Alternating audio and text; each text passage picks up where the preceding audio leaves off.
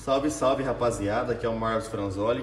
É, hoje eu vou falar para vocês é, um pouco sobre os bicos injetores das motos 160, 190, 250 e 300, tá? Todos esses bicos são da marca Keirin, né? Das motos aí nacionais Honda. É, eu vou estar tá fazendo o teste de vazão desses bicos e mostrando para vocês aí as diferenças, né? Entre cada um deles. Lembrando que o teste vai ser feito com a mesma pressão de bomba, certo? E vou gravar um por um aí agora para vocês verem a diferença em quantidade de líquido, né? Que cada um aí vai admitir no, no nosso tubo de ensaio. Pessoal, agora vou testar o bico da 160. É, mesma pressão, tá? 3 bar. Vamos lá.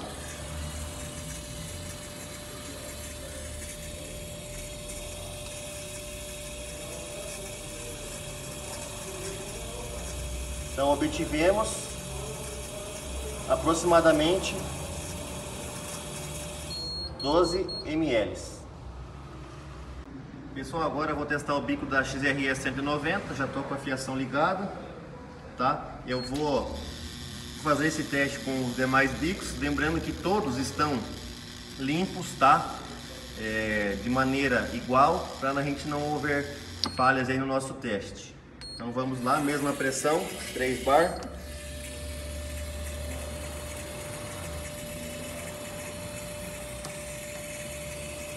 Então obtivemos aí 15, 16. Vamos tirar, esperar sair as bolhas.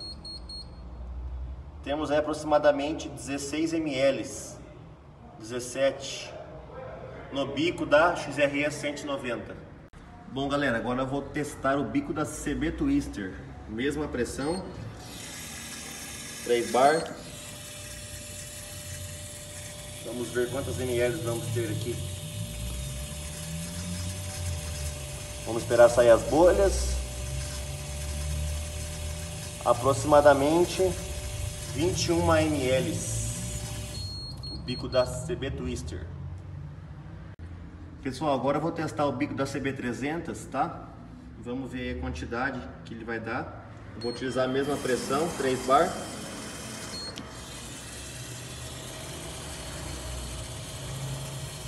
Vamos ver a quantidade aí que nós vamos ter.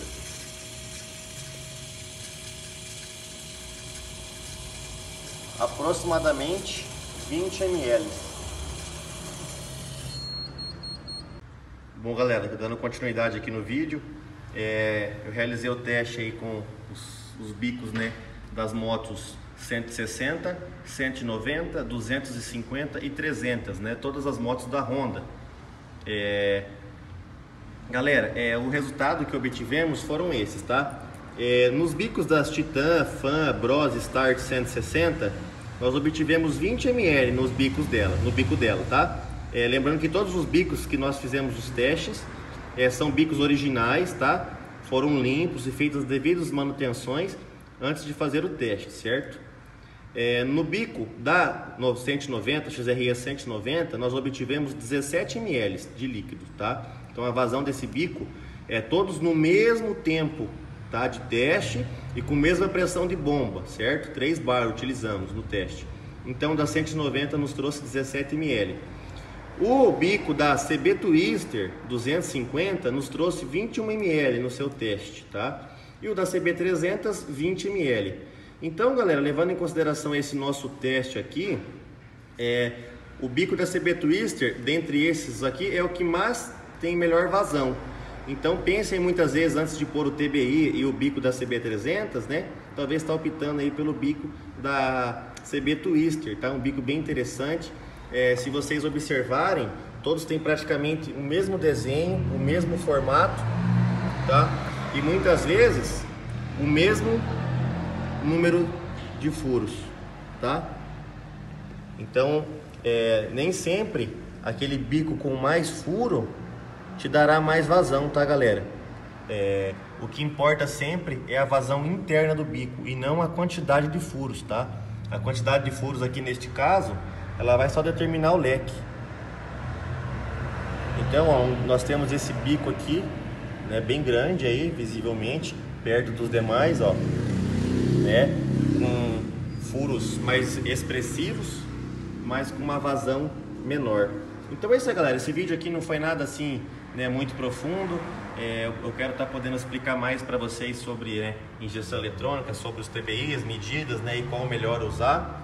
Mas é, pelo menos é informativo aí e espero que ajude vocês aí na hora de escolher o seu TBI ou pelo menos o seu bico injetor. Então é isso aí, galera. Agradeço a todos pela atenção e fiquem com Deus. Um abraço, Marlos Transoli.